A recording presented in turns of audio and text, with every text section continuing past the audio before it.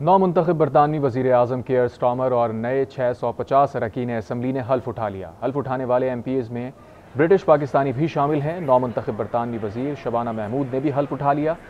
फजल खान, इमरान हुसैन राजा यासीन और नाज शाह भी हल्फ उठाने वालों में शामिल हैं। इंतबात के बाद बरतानवी पार्लियामेंट का पहला इजलास हुआ, जिसमें तमाम छः सौ पचास अरकान ने शिरकत की और हल्फ उठाया।